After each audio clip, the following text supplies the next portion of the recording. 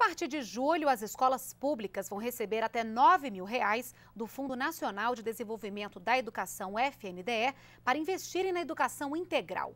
A ideia é ampliar a jornada escolar para no mínimo sete horas diárias e promover a parceria entre escola e comunidade no fim de semana, com atividades educativas, culturais e esportivas.